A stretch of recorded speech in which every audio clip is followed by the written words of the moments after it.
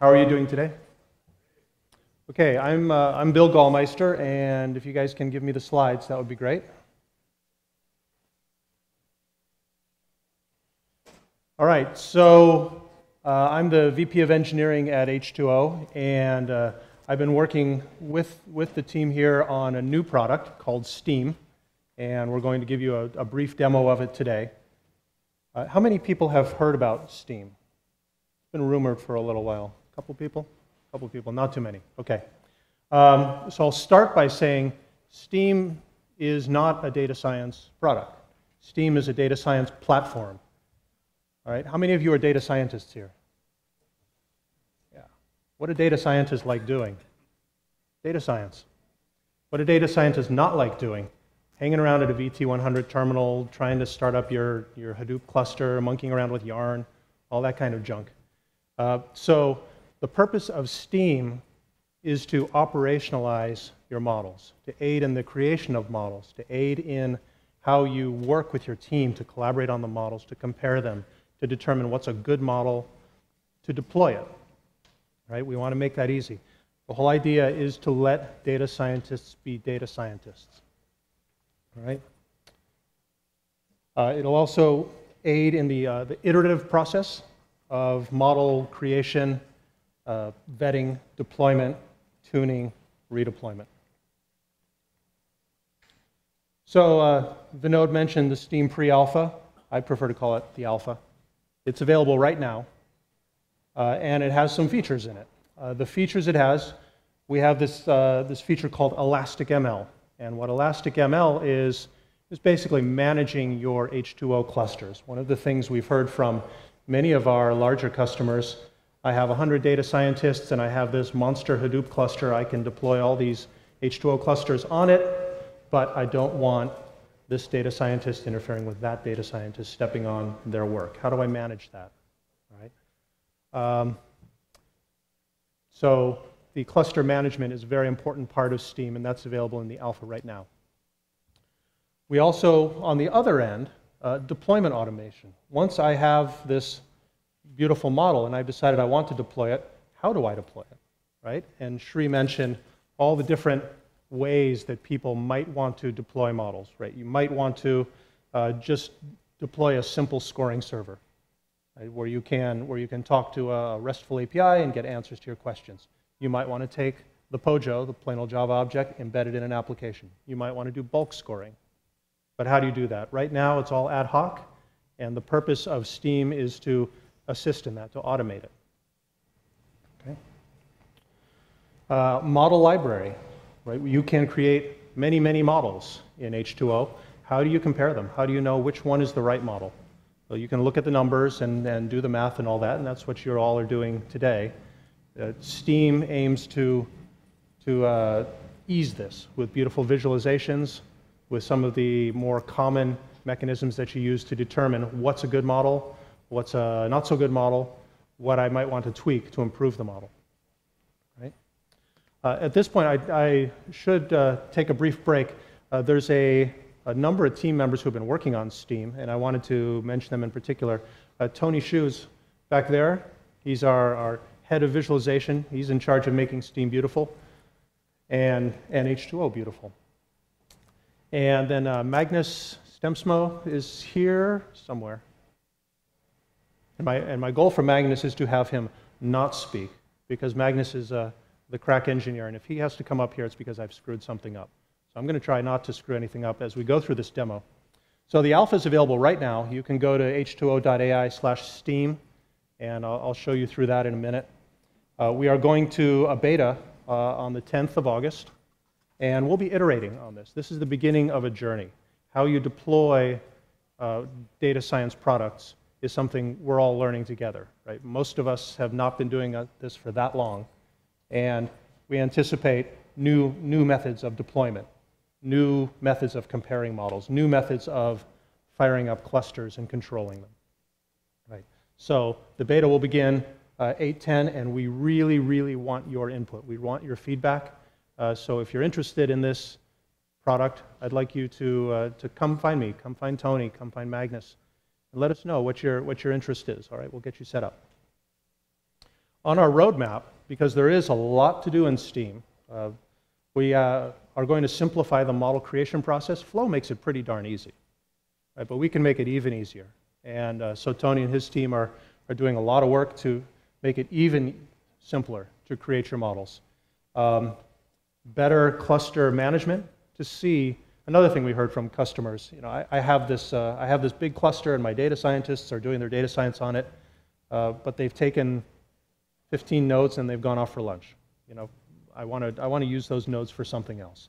How do I know what's going on? So we want to add that in as well. Uh, additional cluster management and deployment options. Right now, you can deploy by setting up a cluster in the standard way. An administrator can do that, and you can connect to it. I'll demonstrate that. You can use Yarn to spin up a cluster, again, something an administrator would do, and the data scientist would simply connect.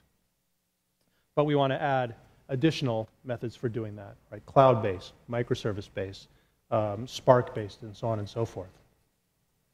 And then the leaderboard, the, the whole comparison of machine learning models is an area where we're going to add visualizations and new aspects, new variables.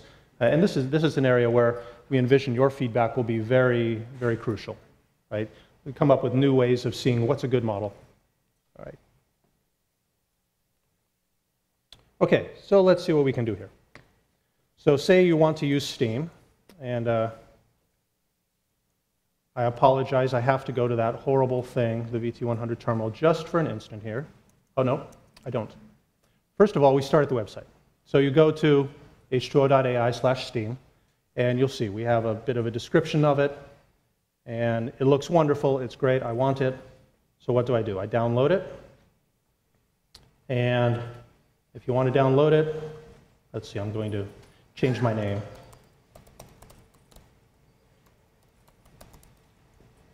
Whoops, yes.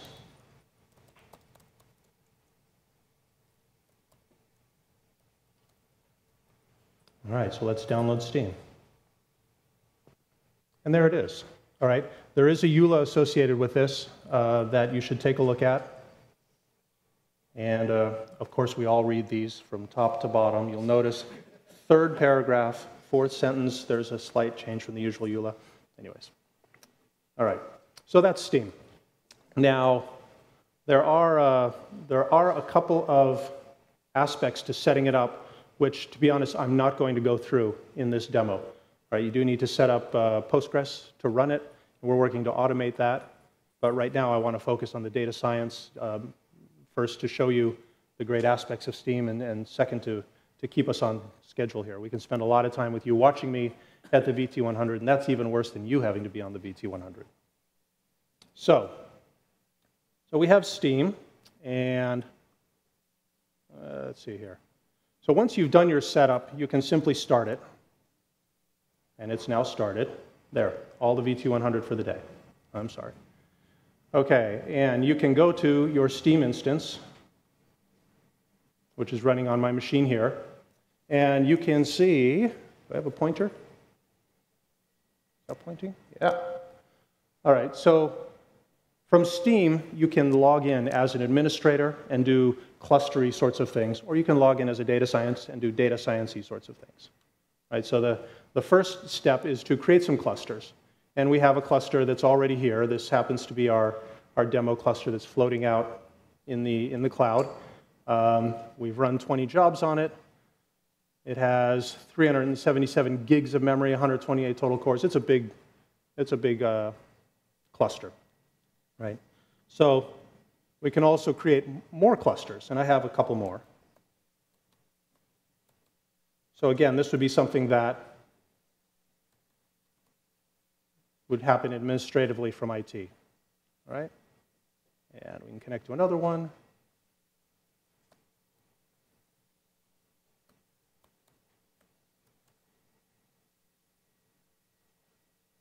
Oops. And you do have to enter the right information. There we go. So now I have three clusters I can choose from.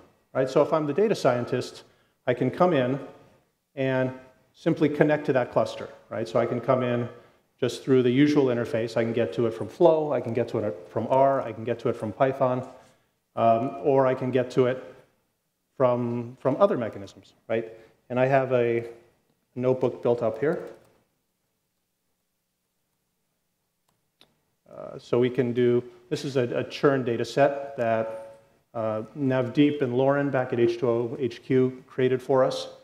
And it's basically here, I'm not going to focus on the data science parts because, well, you've got another day and a half of all that.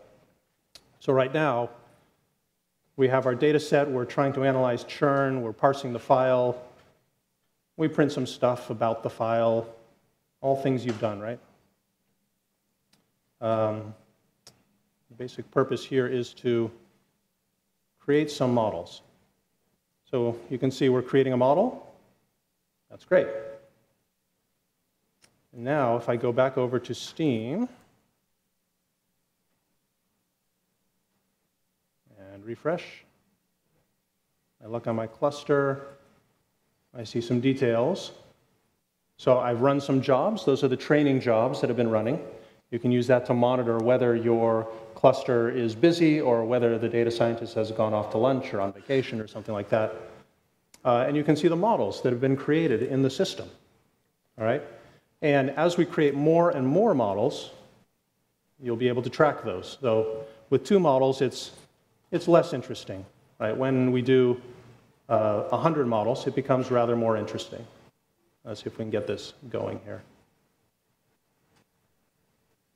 All right, so we should have some models coming in. My apologies.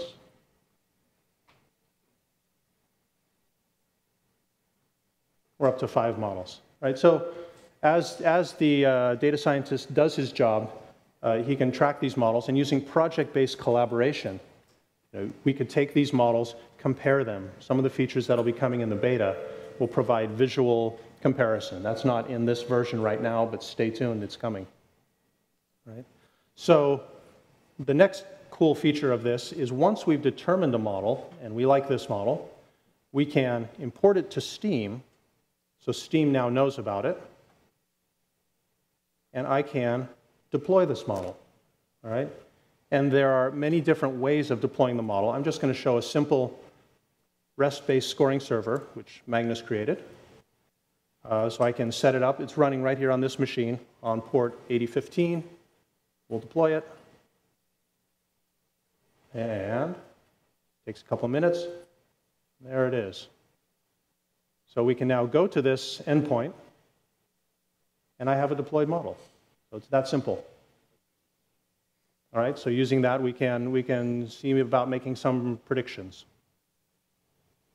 Okay, enter some data.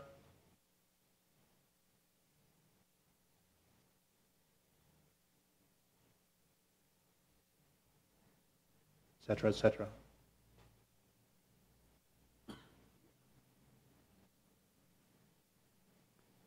And uh, you can see the REST-based string that has been created from that, all right? And you can make a prediction about whether this person is going to have internet service or not, or something like that. So there it is, a simple deployment server. All right? So back to our presentation. That's the demo. It's pretty short. And if you have any questions, do come find me uh, sometime during the day today. We do want to talk to you. We do want you to download it. Uh, there is a support channel, an email channel for questions about Steam. Uh, this is a journey that we're just starting. All right, the train's leaving the station. You got the metaphor. All right, so join us. Uh, we're going to create a great platform for data science and hopefully make your lives easier. Questions? All right, thank you very much.